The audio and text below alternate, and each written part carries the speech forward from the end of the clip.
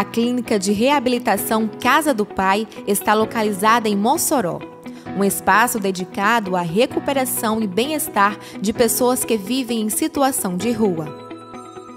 Com uma área construída de mais de 4.800 metros quadrados, nossa clínica está preparada para oferecer um ambiente seguro e acolhedor para até 60 internos. Em breve, com capacidade maior na ala feminina que está em construção.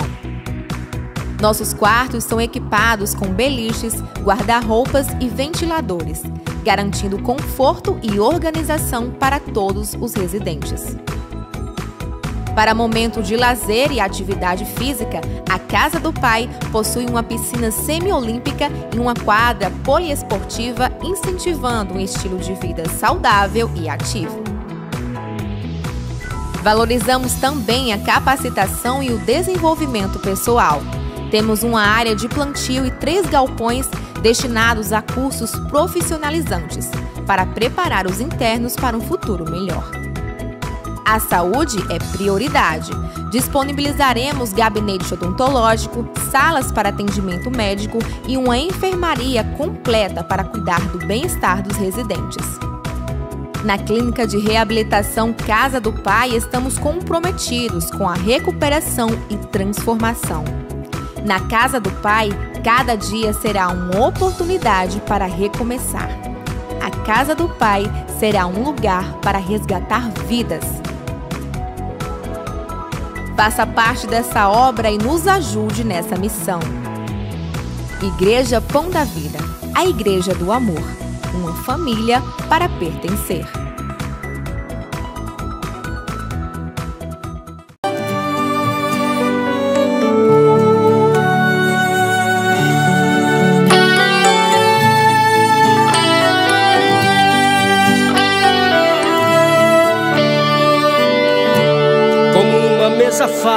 Especial, preparada no deserto,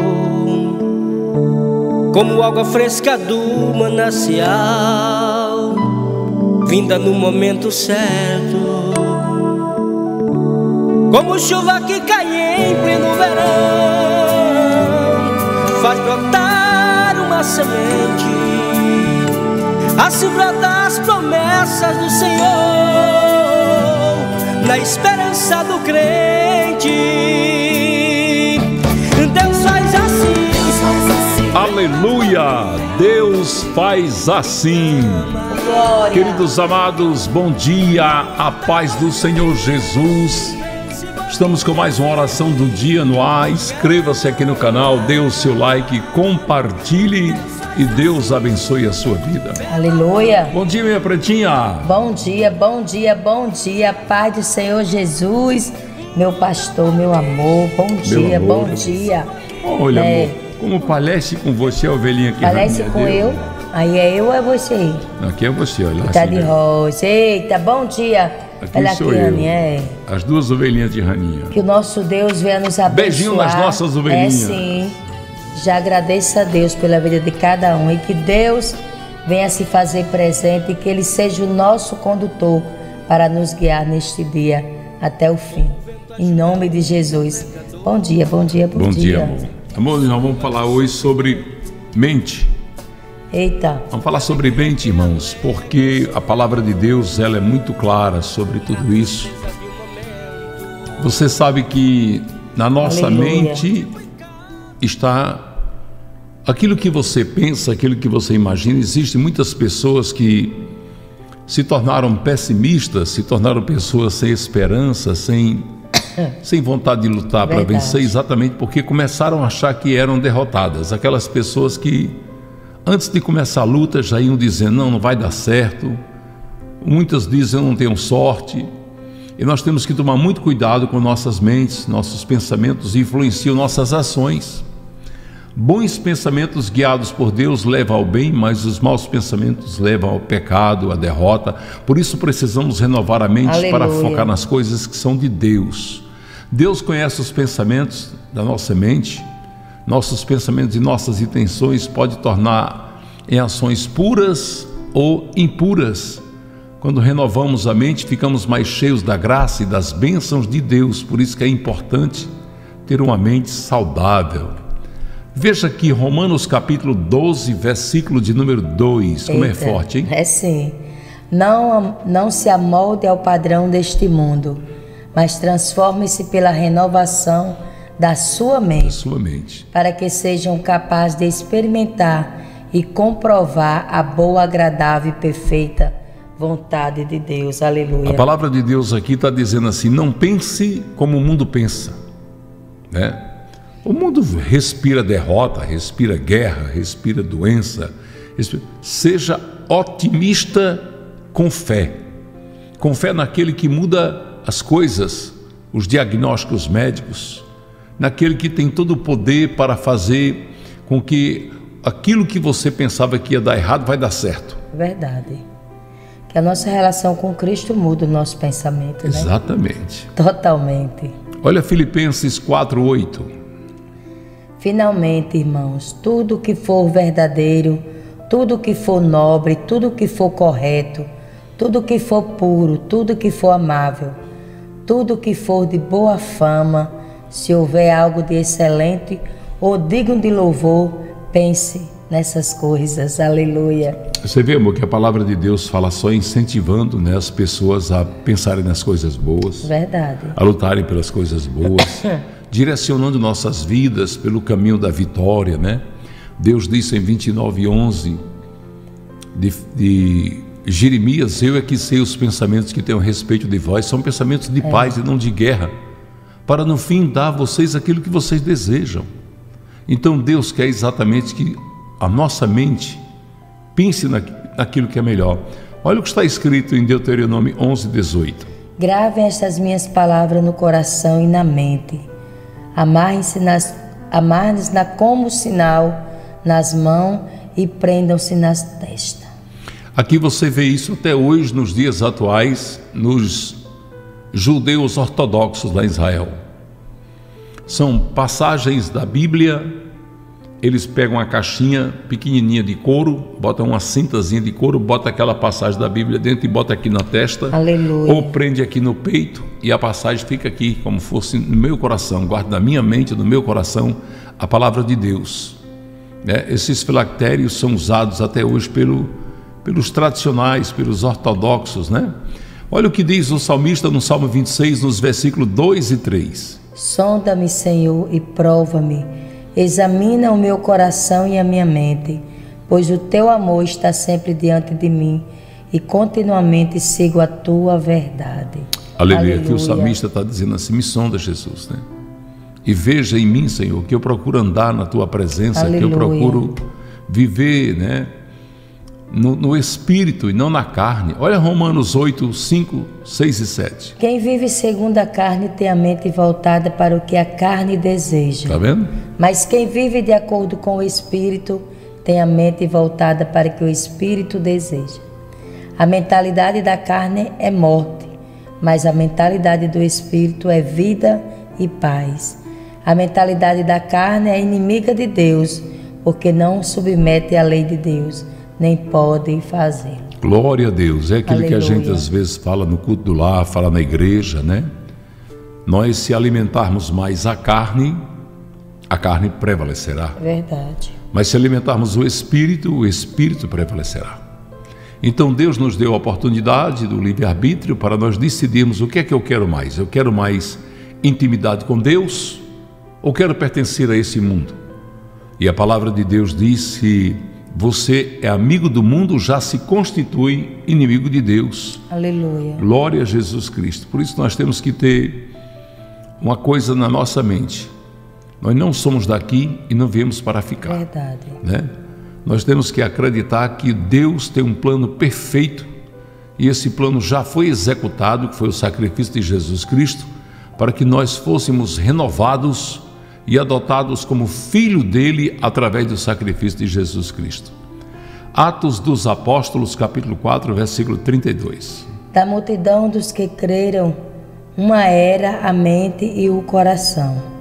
Ninguém o considerava unicamente sua coisa alguma que possuísse, mas compartilhavam tudo que tinham. Aqui estava falando Aleluia. que a igreja primitiva, ela foi uma igreja que as pessoas se desprenderam tanto do mundo que faziam doações tremendas e viviam a fé que eles tinham, né?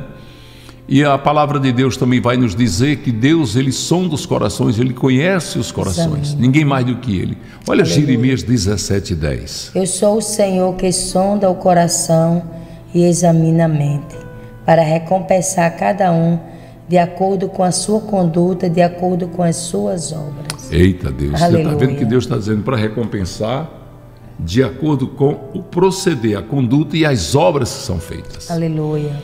Por isso que vale a pena andar no caminho do Senhor. Glória a Jesus. Veja Romanos 7, 25. Graças a Deus por Jesus Cristo, nosso Senhor, de modo que com a mente eu próprio sou escravo da lei de Deus, mas com a carne da lei do pecado. Por isso que o apóstolo Paulo diz: Aleluia. Eu sou prisioneiro em Cristo, né? Estava falando das celas, das prisões, mas estava falando especialmente que quando ele disse eu já reputei tudo por estrume, eu já deixei tudo para trás, a mim eu sigo para a frente, sigo para o alvo. Ele estava dizendo assim: já não vivo eu, mas Cristo vive em mim. Paulo estava com a mente completamente inundado do Espírito Santo, vivendo as coisas mais tremendas da vida, Aleluia. a ponto de ser arrebatado ao terceiro céu e ter estado com Deus lá. Romanos 11, 33 e 34. Ó oh, profundidade da riqueza, da sabedoria Aleluia. e do conhecimento de Deus Quão insondáveis são os seus juízos, inescrutáveis. O seu caminho, quem conheceu a mente do Senhor? Ou quem foi seu conselheiro? A Bíblia está Aleluia. falando da sabedoria de Deus. Quem conheceu a mente de Deus? Ninguém. Por quê? Porque é insondável, né? E quem foi o conselheiro de Deus? Ninguém. Aleluia. A Bíblia está dizendo assim: a sabedoria dele, a grandeza dele, a, a soberania é algo tão tremendo que ninguém conseguiu alcançar isso e jamais Aleluia. conseguirá alcançar. Mas um dia teremos intimidade por estar com ele e o Espírito Santo já nos faz viver Aleluia. isso aqui, né? Aquilo que a palavra diz que a gente nunca imaginou, nunca desceu o coração do homem, é exatamente aquilo que está preparado para nós na Nova Jerusalém. 1 Coríntios capítulo 2, versículo 11. Pois quem conhece o pensamento do homem, a não ser o espírito do homem que nele está?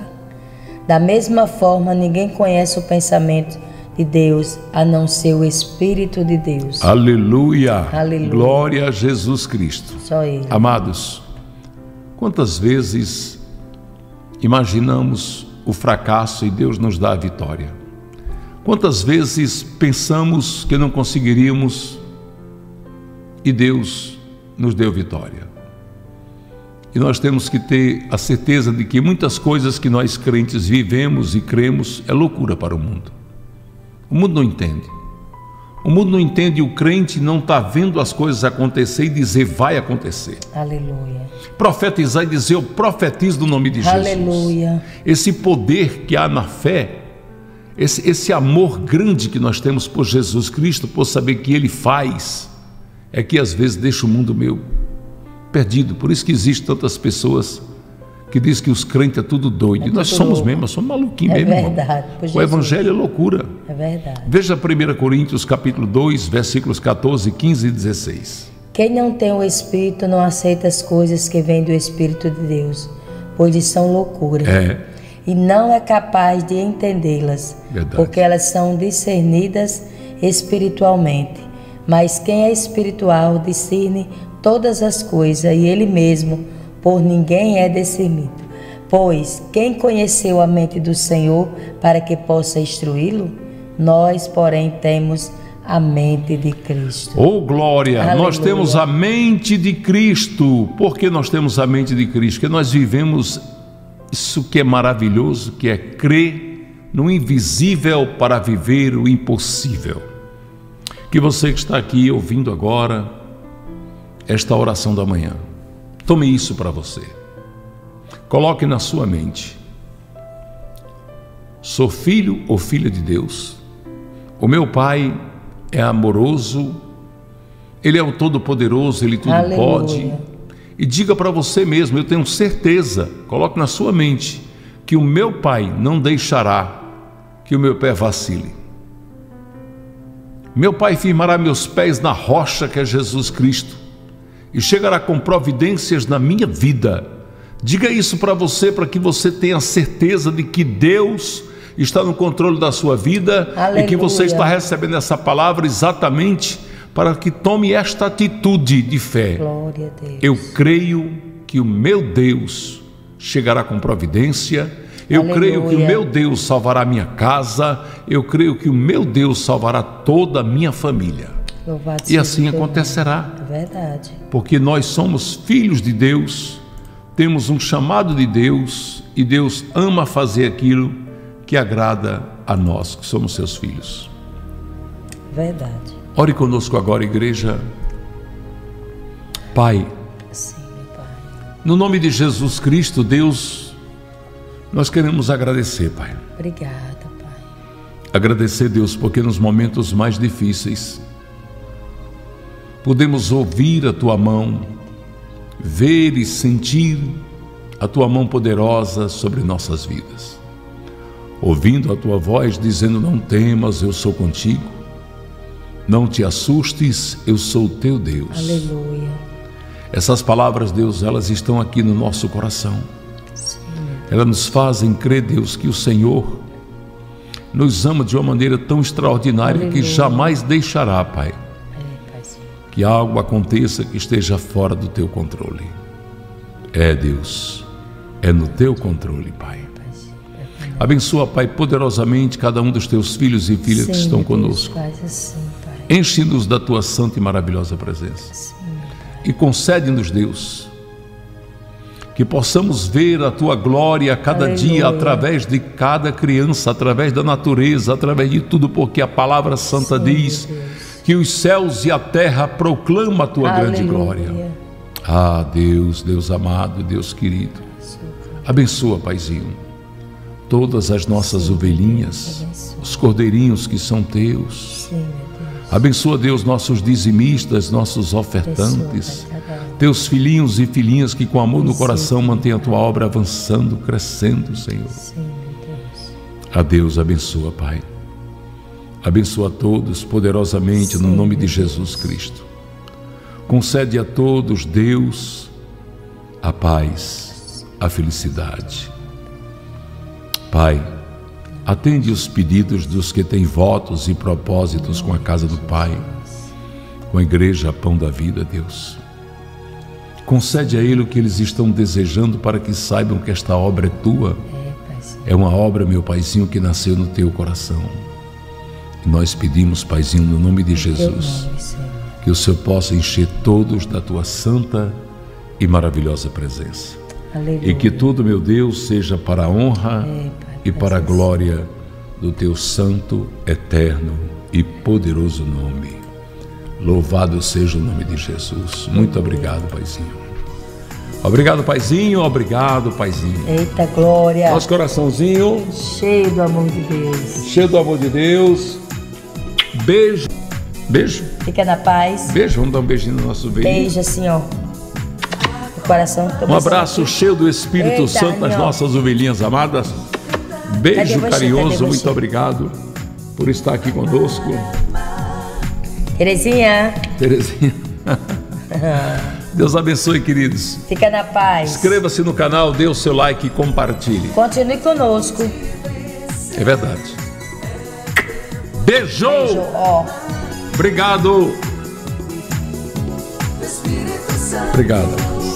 Fica na paz.